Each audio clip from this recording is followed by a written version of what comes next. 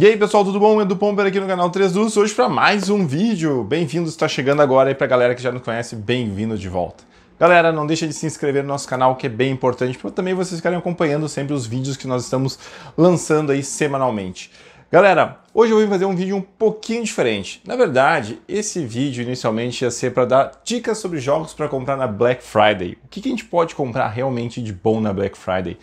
Mas aí conversando com um amigo meu que um dia me mandou uma lista de jogos que ele queria comprar, já estava no carrinho de uma loja, e ele perguntou o que eu achava. E era uma quantidade grande de jogos. E eu falei, cara, tu tá rasgando dinheiro no momento, porque a gente joga junto, ele é do meu grupo de jogos, e eu disse, esse monte de jogo que tu vai comprar agora, a gente vai demorar um tempão para jogar, e tem uns tantos outros que nós temos nas nossas coleções que nós nem jogamos ainda no nosso grupo. E ele falou, é, tu tem razão. E aí esse mesmo amigo me mandou esse videozinho aqui de um canal super bacana lá de fora, que estava mostrando ali 10 armadilhas né, que o jogador de board game tem que evitar, principalmente quando vai comprar jogos.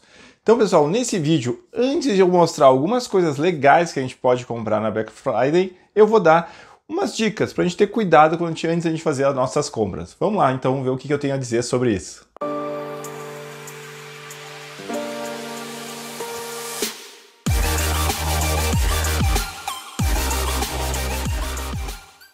Este episódio tem o apoio da Bravo Jogos, muito mais que uma loja, seu lugar de diversão. Muito bem, pessoal, vamos lá então. Chegando agora a Black Friday, né? As lojas começam a lançar promoções, tem promoções bacanas, tem, tem promoções bacanas. Mas antes de comprar um jogo, tu tem que parar e pensar: será que eu preciso daquele jogo? Será que eu tô comprando esse jogo só porque ele tá barato? Será que eu não tenho outros jogos da minha coleção que são parecidos com esses que eu nem joguei ainda? Ou melhor ainda, será que não tem nenhum jogo que eu comprei na Black Friday do ano passado e eu não botei na mesa ainda? A primeira coisa que tem que olhar é olhar para tua prateleira e pensar: será que eu preciso comprar esse jogo só porque ele está barato? Isso acaba acontecendo muito no hobby. O pessoal olha assim: nossa, esse jogo está muito barato, eu vou ter que comprar, vou aproveitar o momento. E aí acaba o quê? Indo para estande da vergonha. Aquele lugar onde os jogos que tu tanto gostaria de jogar e não vem mesa nunca. Por quê? Porque tu comprou na emoção ali. Então, antes de mais nada, quando tu for fazer a tua compra na Black Friday, pensa, olha para tua coleção, vê se não tem nada parecido. Se é uma coisa, pensa no teu grupo. Será que o meu grupo vai encarar isso aqui? Qual é a quantidade mínima de jogadores? Quantos jogadores normalmente jogam na minha mesa? Será que é o estilo? Então, isso é uma coisa que eu sempre falo, pessoal. Calma, galera compra, mas compra com consciência, cuidado. A gente está falando com um criador de conteúdo, que muitas vezes eu me sinto até meio culpado por estar tá fazendo vídeo o pessoal dizendo, ah, comprei esse jogo por tua causa, porque tu fez o um vídeo tal. E eu fico pensando, bom, tomara que ele goste e tomara que o jogo seja adequado para o grupo dele. Muito bem, mas que tipo de jogo a gente vai encontrar na Black Friday legal de comprar? O lançamento, aquele que saiu última hora? Não, pessoal, não te ilude que é muito difícil tu achar um lançamento com um bom desconto na Black Friday. Normalmente não são esses jogos, né?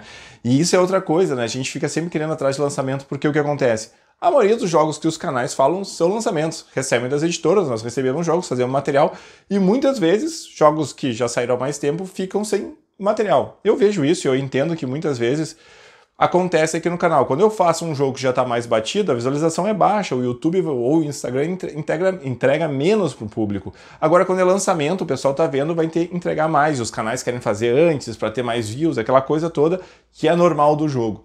Mas muitas vezes tem jogos que saem dessa redoma, que não estão no hype, não tem muito material e são muito bons e acabam se perdendo. E essas são as oportunidades muitas vezes.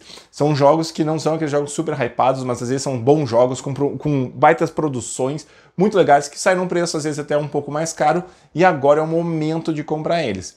Então eu vou dar algumas dicas de alguns jogos que eu já vi. E galera, olha só, eu tô puxando da Bravo, que é a nossa parceira, obviamente, então eu vou mostrar alguns exemplos. Eles estão com uma promoção, já começou e vai até o fim do mês, de alguns jogos muito legais. Que eu, na minha opinião, obviamente, né? Tu tem que analisar, vai atrás de material, ver se realmente é um jogo que tu vai gostar, que eu acho que estão com preços bem bacanas. Pessoal, o primeiro jogo que eu acho que assim, ó, que tá num preço muito bom ali na Bravo, que eu realmente acho que é uma oportunidade, que é um jogo também que não teve tanta hype, que eu não sei porquê, porque é um, na minha opinião, é um baita jogo. Obviamente, tem que analisar se tu vai gostar, que é o It's a Wonderful World. 150 com 50, né? E se tu pagar no Pix, tu ainda tem desconto. Ele é um jogo que é muito para, uh, comparado, né? Com os Seven Wonders, né, as Sete Maravilhas. Eu acho que tem uma pegada um pouco diferente. Ele tem o drafting, ok, entendo, mas em geral o jogo é administração de recursos, os dois, mas pegadas diferentes. Ele tem uma produção muito bacana, vem uma porrada de carta e por esse preço realmente está valendo a pena. Ele tem um modo solo muito legal. Então, por exemplo, esse é o exemplo clássico de um jogo muito bom, que acabou não hypando, e aí tu consegue pegar ele por um preço muito bacana. Esse é o tipo de jogo que tu vai encontrar muito na Black Friday e tu tem a chance. Mas de novo, analisa se ele é teu estilo, se vale a pena ou não comprar ele, ou como tu pode escolher outros títulos. Galera, outro título aqui que saiu no Brasil, o Wiki, tá 219. Olha só, o Wiki, ele chegou no Brasil pela Conclave. Quase ninguém deu bola. Aí ele foi anunciado no Spiel lá, ele foi nomeado, acho, no Spiel entre os três finalistas. Não lembro qual, acho que foi no Kenner Spiel. E aí o que? Aí se hypou um pouco o jogo, mas ele continua num preço super acessível, né? É um preço ali com um jogo, uma produção bacana, é um euro, assim, bem gostoso de jogar, funciona muito bem em dois jogadores. Tem material aqui no canal que o Edu Reis fez. Então também é outro jogo aí que não foi hypado, é um jogo que lá fora, ser nomeado no Spiel é alguma coisa que chamou a atenção, e aqui ele se perdeu, e também tu consegue ele num preço bem legal aqui dentro né, da promoção da Bravo Jogos. Galera, outro jogo que saiu aqui no Brasil, ele vem num preço um pouco caro, mas assim, ele tem uma produção grande, ele tem dados, ele tem um tabuleiro gigantão que é o Daimyo, né? Ele chegou ali a 500 e agora está em torno de 200 reais aqui na promoção.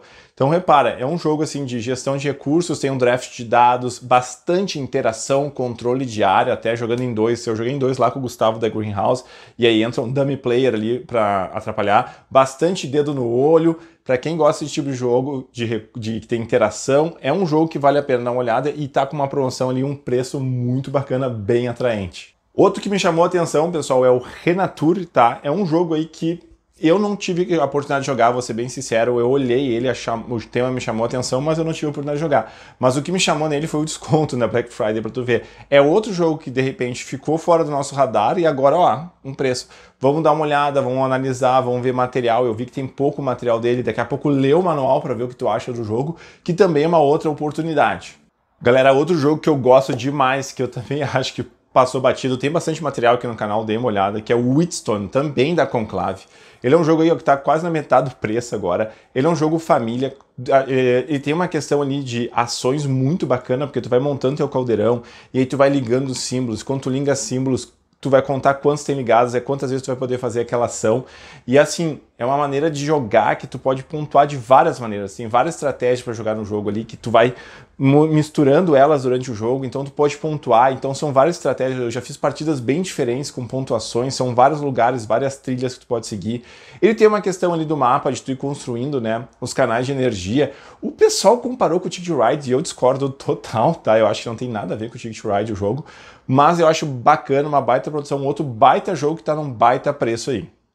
Galera, outra oportunidade que tu pode usar Black Friday, que eu faço muito, é garantir o presente de Natal, aniversário daquele amiguinho, do sobrinho, da sobrinha, do filho, da filha. Por exemplo, jogo infantil bacana, o Eduardo Guerra, eu lembro que lançou, fez o material, que é o Gravity, que é esse jogo infantil a partir de 8 anos. Tu pagando ali na Bravo, tu sai com menos de 100 pilas se tu pagar ele à vista, né? Obviamente tem mais o frete. Mas, galera, eu, por exemplo, já garanti. Eu vou dar um pra minha sobrinha, porque aqui eu e a Ana jogamos muito com as nossas sobrinhas e Natal normalmente é jogo e elas adoram. Então aqui, ó, tu já aproveita essa Black Friday e de repente adianta o presente de Natal ou adianta o presente de aniversário aí e faz, o quê? Tu salva uma graninha boa nessa jogada. Então, tem jogos infantis. O Léo também tá na promoção ali, que é outro jogo infantil muito bacana. Então, galera, essas são algumas dicas que eu vi que jogos que podem aparecer na Black Friday. Tem outras tantas ali dentro do site da Bravo, né? Obviamente, de novo, eu puxei a Bravo aqui porque é a nossa parceira e eles estão com promoções muito bacanas. Mas lembra, galera, antes de comprar, não vai no impulso. Pensa se tu realmente precisa desse jogo, se ele vai fazer diferença na tua coleção, ou aproveita para dar um presente para alguém, um presente legal. Isso que eu falei do presente, mas não dá um presente assim para criança aquela que não tem quem jogue. Que às vezes o pessoal diz: "Ah, vou dar um joguinho". Mas se a família não joga, se ela não tem amigos para jogar, esse jogo vai ficar só pegando poeira. Por exemplo, nós damos para nossa sobrinha porque nós jogamos e eu sei que os pais delas também jogam com elas. Se elas jogassem só com a gente, talvez a gente não desse, né? Porque não vê tanto, mas como a gente sabe que vão ter outras pessoas jogando ele, vale a pena. Bom, pessoal, antes de fazer a compra, reflita bem se realmente você precisa, se vai valer a pena e depois vá lá, compra o jogo, bota na mesa e se diverte. Espero que tenham gostado desse, do vídeo. Deixem seus comentários aí. Falem se vocês querem mais vídeos nesse estilo. E até um próximo. Aquele abraço. Valeu!